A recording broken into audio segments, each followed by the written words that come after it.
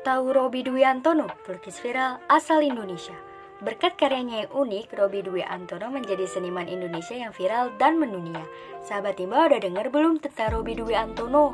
Robi Dwi Antono merupakan seniman asal Yogyakarta yang membuat karya seni pop surrealis yang unik, yaitu dengan menggabungkan karakter yang imut dengan unsur sendu, lembut, dan manis.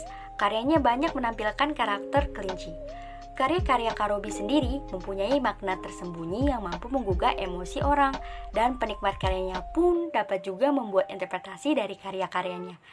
Kalau sahabat Nimba perhatikan, tokoh yang dibuat oleh Kak Robi imut dan lucu tetapi tema lukisannya menggambarkan suasana yang mencekam ya. Pokoknya Kak Robi keren banget dan sangat inspiratif.